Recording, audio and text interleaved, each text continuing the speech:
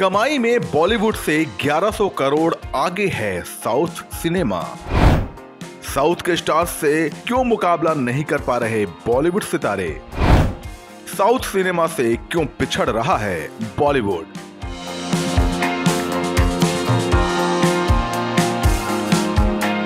Corona काल से पहले 2019 में साउथ सिनेमा का कुल बिज़नेस बॉलीवुड के मुकाबले 1100 करोड़ रुपए ज़्यादा रहा था। बीते कई सालों में बॉलीवुड की फ़िल्मों के सामने साउथ सिनेमा का क्रेज दोगुना दिखाई दे रहा है। कोरोना काल के बाद से लेकर अब तक अमिताभ बच्चन से लेकर सलमान खान तक बॉलीवुड के बड़े बड़े सितारों की फ़िल्म रिलीज़ हुई, लेकिन बॉक्स ऑफ़िस पर सभी को निराशा मिली। लेकिन साउथ के विजय, अल्लू अर्जुन, प्रभास और पवन कल्याण जैसे सितारों की फ़िल्मों ने 200 से 300 करोड़ रुपए तक का बिज़नेस किया। स्टेस्टिका के मुताबिक साल 2019 में साउथ इंडस्ट्री ने 3,900 करोड़ रुपए का रेवेन्यू हासिल किया था जबकि इसी दौरान बॉलीवुड की फ़िल्मों से सिर्फ़ 2,800 करोड़ रुपए की कमाई हो सकी थी। वहीं 2020 में बॉलीवुड फ़िल्मों का रेवेन्यू घटकर 9.3 अरब रुपए हो गया।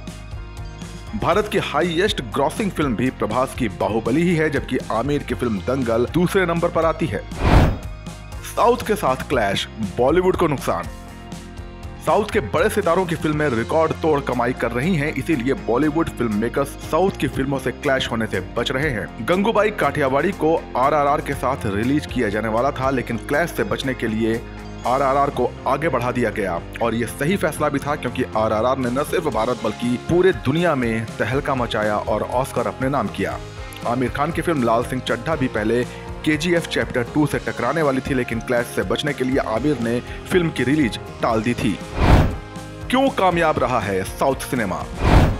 साउथ में सालों से एक्शन, कॉमेडी, रोमांस, ड्रामा से भरपूर फ़िल्में बनती रही हैं, जबकि बॉलीवुड अब ज़्यादातर फ़िल्में रीमेक, सिक्वल या बायोपिक जैसे जॉनर में बनकर बना रहा है। और साउथ की ऐसी कई फ़िल्में हैं जो बॉलीवुड ने रीमेक बनाई हैं। दक्षिण भारतीय फ़िल्मों के सेनापतियों की पूरी फौज बॉलीवुड में राज करने का सपना साकार करने के बेहद करीब पहुँच चुकी है।